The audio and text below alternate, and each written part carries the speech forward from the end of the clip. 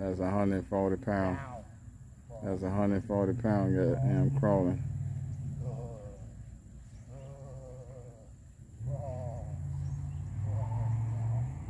And the reason Eric bent over because uh, new new training.